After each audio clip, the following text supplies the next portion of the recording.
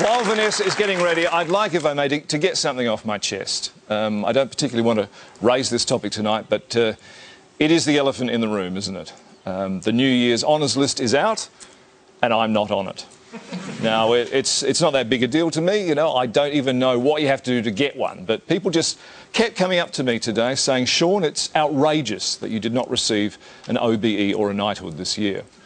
and uh, while it's true, I, I haven't thought about it that much. When you do think about it and realise that Kylie Minogue, Reg Grundy, and even Paul Clitheroe have received some sort of official honour, I see where these people are coming from. All right? Maybe I have been harshly treated. Maybe it is grossly unfair. Anyway, I'm uncomfortable, you know, talking about it, and I'm certainly not going to waste your time sitting here blowing my own horn. But someone who, who does feel pretty strongly about it is 11 year old Tom Parry. Tom? I had an accident earlier this year and had to spend four weeks in hospital. Shaun Micallef visited me every day and bought me a Subway and a Pepsi. He even drove Mum home every day. Sometimes he would even drive her in again in the morning. Governor General Quentin Bryce or the Queen, I think you should give Mr. Micallef a New Year's honour.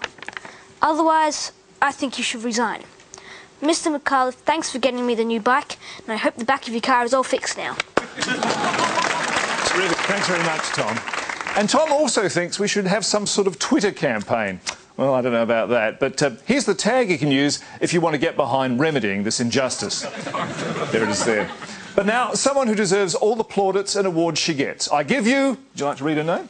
Um, Miss Vanessa, Vanessa um, Amorosi. Yeah, that's, that's pretty good. Miss Vanessa Amorosi.